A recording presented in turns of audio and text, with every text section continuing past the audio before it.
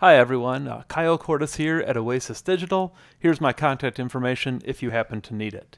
Now, the purported title of this video is Web Components for Angular Views, Part 1, The Pattern. So this video is apparently about using the, the Smart View or uh, container presentation or whatever you want to call it pattern for splitting out your view components in an Angular application uh, via web components. But that's not what it's really about. That's just a short title. What it's really about is this hypothesis of mine. I think the next generation of single page web app framework, so whatever whatever comes after uh, React and Angular and Vue, like you know whatever the next big thing is, I think that that generation is going to uh, set aside the notion that each new framework reinvents the idea of a component a different way. And instead, I think that next generation is going to simply adopt web components for the component layer.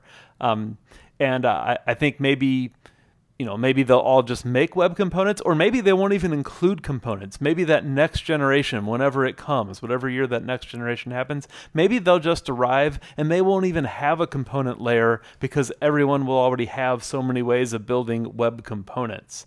So to experiment with that today, I'm just going to work with permutations on this Angular view component pattern, or on this, uh, this view component pattern. I'm going to do it in Angular because although I'm familiar with a number of different technologies, I'm I'm the very most familiar with Angular, and uh, I'm going to experiment with how to split these components out from Angular and try to use web components for that view layer. Now in this first video, I'm just introducing the pattern, and so I'm going to bring up some code here and then talk about the pattern just a little bit. Now the pattern here is sometimes called the smart view pattern, sometimes it's called the container presentation pattern. I've heard it called the smart dumb pattern.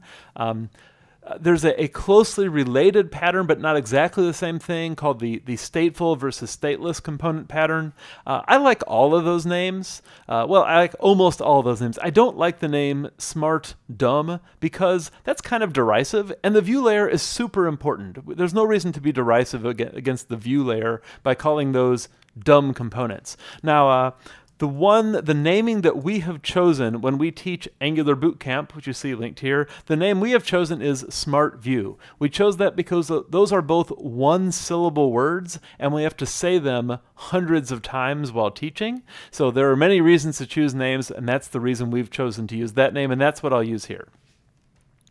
Let's take a look at this running application. So this is a very simple Angular application. It's actually adapted from an example that we teach in our Angular Bootcamp. So the if you've been to that class and you're seeing this, this program might look a little bit familiar to you.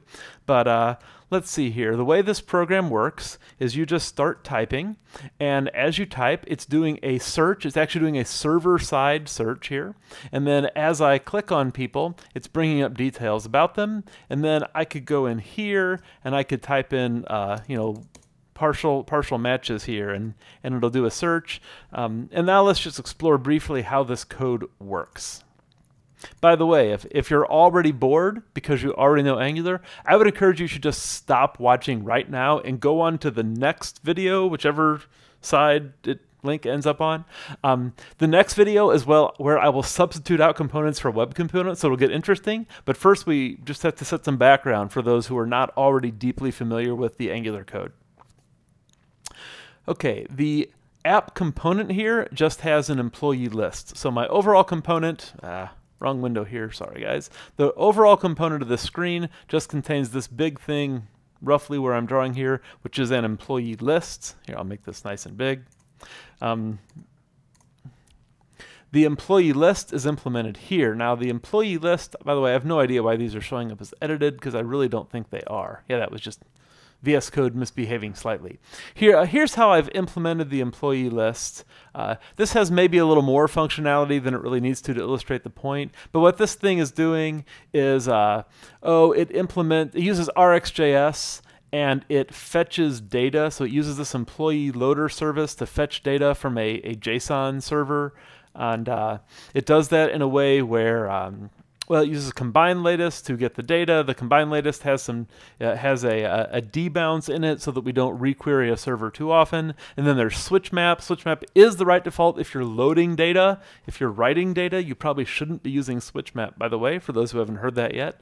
Um, And then when it comes back, we're sorting it. For this example, I chose to sort locally. So another little minor kind of tactical tip. If you're working in a modern platform, like say TypeScript with Angular, you, you really shouldn't be using just Lodash anymore. You should be using Lodash ES, and then you should be importing just the identifier you need. And this uh, can greatly cut down on how much code you ship uh, out of out of all of Lodash. There's an older way if you're stuck with uh, like older platforms you have to use CommonJS modules. There's an older way where you can import you know Lodash slash you know something slash sort by. Uh, you don't have to do that if you're working with uh, the the full modern platform like Angular. You just use Lodash DS ES instead of Lodash and just import the piece you want. Okay, so I think I've already told everything important here. Uh, this is this is kind of modern code, so I'm using the new way of importing RxJS. And uh, I won't bother to go over this because this is straightforward RxJS data flow. Uh, I have other videos where I talk about this uh, here on our Oasis Digital channel. Yeah, you can find lots of content about RxJS that goes over that. Um, the important thing is that this component that represents this, and I keep going to the wrong place, sorry about that. This component that represents the whole screen it really has two parts. It has this part on the left, and it has a part on the right, and then the part on the left includes these controls in this list. And what I've done here is I've split out this section here that I'm drawing, and I've split out this list as separate components. So I have split out a view component called an employee list table view, and a view component called an employee detail view. Um, well, see, the employee detail view, you just literally hand it an employee. The list view, you hand it the whole list, and you can tell it which one is selected, and it can tell you when someone makes a selection. Now, um, you might wonder, why does it have to tell me which one it selected, then I turn around and tell it which one it selected? Well, that's because uh, a view component shouldn't make any assumptions about owning any data. So this view component, although it might typically be used where, where it like it knows that it makes a selection, then the selection has been made. It's possible you'd use this in some more complex situation where uh, maybe you have multiple ways of selecting a single employee, and maybe you are wiring together a complex data flow. The point is that a view component shouldn't do any logic and shouldn't have any state. So the view component, all it can do is it can show a list, it can highlight one who's selected, and it can tell us as the as the user when another one has been selected.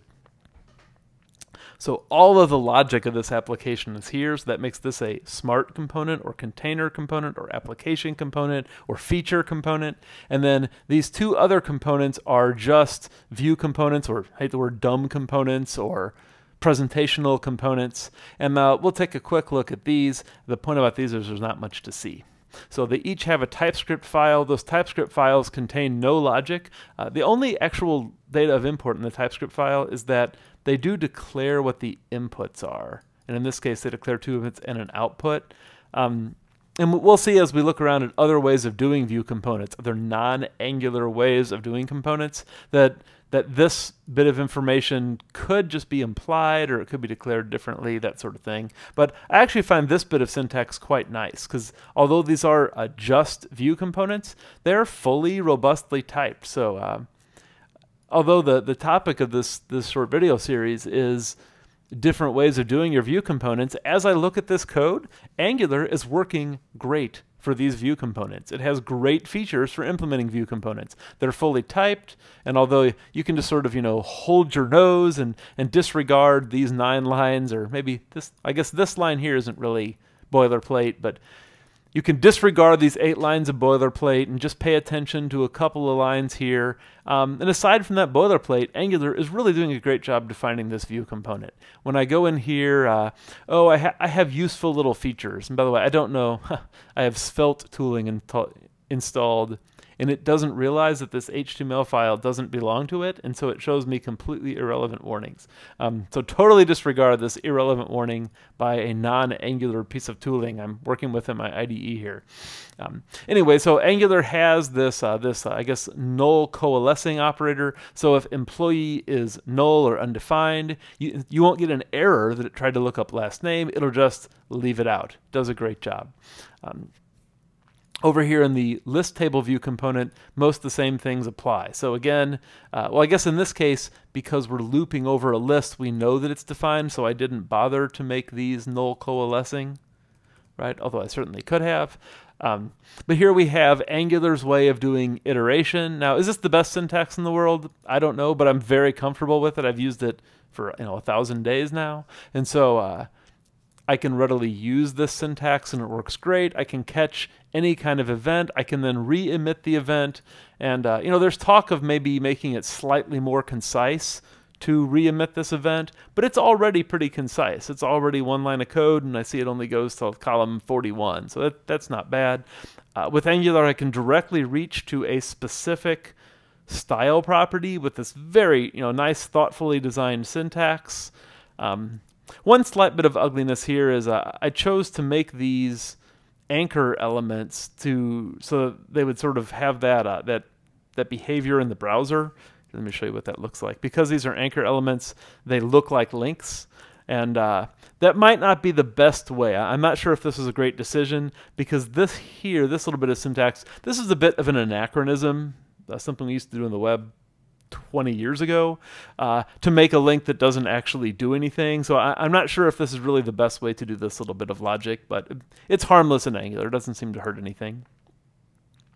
Okay, so in conclusion, uh, it's pretty straightforward to use this Smart View pattern in Angular. Uh, this application is a pretty straightforward illustration of that. Let me bring up the here. This is the repository if anyone wants to go take a look there. This is going to serve as the basis to experimenting with different ways to implement these videos uh, or the, these these view components in a, a, short series of upcoming videos. So if you've not subscribed, I guess like every other YouTuber, I will beg and plead that you subscribe and everything so you don't miss that one. And uh, if you're watching this when there's more than one up, I'll try to I'll try to link them together, make it where you can easily just proceed to the next one. So thank you very much for watching. I uh, hope you're interested in this stuff, and if not, thanks for watching anyway. Bye bye.